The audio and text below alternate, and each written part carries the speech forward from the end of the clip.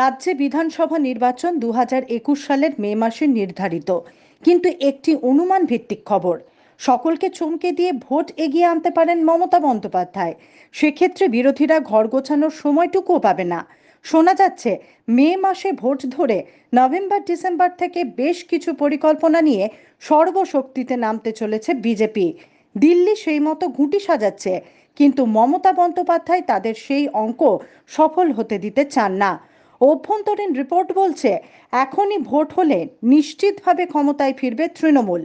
কিন্তু যত সময় যাবে, তত বিজেপির নানা ছলাকলা দেখানোর সুযোগ বাড়বে। আরও কিছু সমীকরণ দেখা দিতে পারে।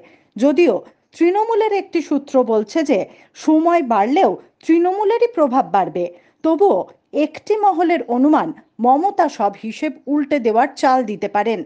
এদিকে জল্পনা আছে, আগে পুরো ভোট না আগে বিধানসভা ভোট। এখনও পর্যন্ত নবান্নের যা খবর, তাতে পুরসভা সংক্রান্ত নেতারা আগে পুরো ভোট চাইলেও বৃহত্তর চালচিত্রে ওয়ার্ড স্তরে গোষ্ঠীবাজির ঝুঁকি না নিয়ে তৃণমূল সম্ভবত আগে বিধানসভা ভোটেই যাবে।